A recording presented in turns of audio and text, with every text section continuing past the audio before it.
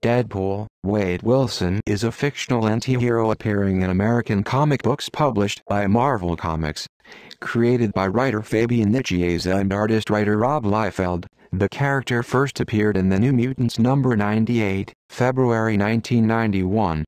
Deadpool was depicted as a supervillain when he made his first appearance in The New Mutants and later in issues of X-Force, but has since evolved into the role of an anti-hero. Deadpool is a disfigured and mentally unstable mercenary with the superhuman ability of an accelerated healing factor. He is known as the Merc with the Mouth because of his talkative nature and tendency to break the fourth wall, which is used by writers to create humorous effect. Ryan Reynolds portrayed the character in the 2009 film X-Men Origins.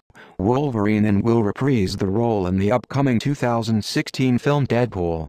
The character's backstory has been presented as vague and subject to change, and within the narrative he is unable to remember his personal history due to a mental condition. Whether or not his name was even Wade Wilson is subject to speculation since one of his nemesis, T-Ray, claims in Deadpool number 33 that he is the real Wade Wilson and that Deadpool is a vicious murderer who stole his identity. There have been other dubious stories about his history. At one point the supervillain Loki claimed to be his father.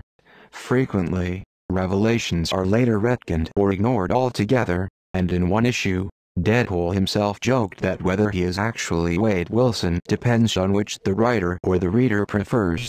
In the 2011-2012 series, Deadpool is implied, in a flashback, to be the real Wade Wilson, the deranged and already partly insane son of a decorated war hero, often daydreaming childish and dangerous ideas, spurring him to the mercenary lifestyle.